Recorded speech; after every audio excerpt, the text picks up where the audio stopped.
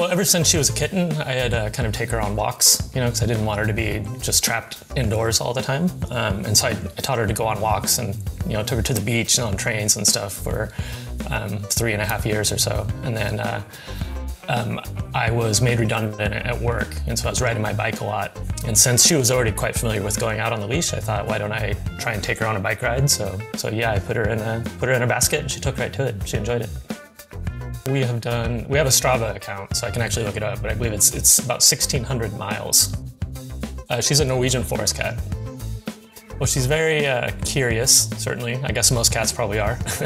um, and she's very, I guess, unbothered by most things. Um, she's not afraid of things. She's not uh, shy or ever nervous about things. She's always just very, very curious and very bold. Um, probably too much so. I mean, I, I, could never let her outside on her own because she's just completely unafraid of dogs and traffic and stuff. So that would be a problem. But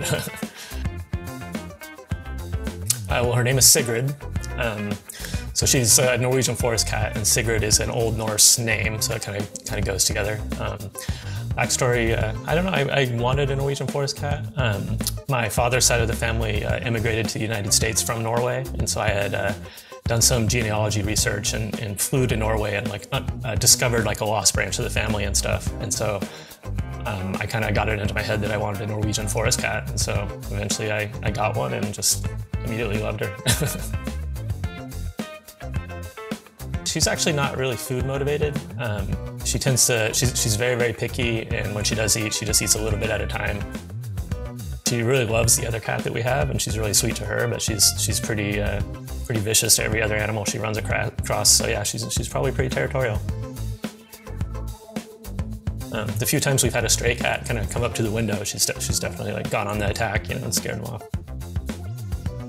I mean, certainly the most popular thing, and what I think is funniest, is just the way that she hates dogs and, and hisses at them, you know, as much as she possibly can. Um, the drive-by hissing is the funniest when the dog's not even paying attention and we're just cycling by and, and Sigi has to throw a hiss as we go by. It's, it's very ridiculous, I think. She's just very committed to hating dogs.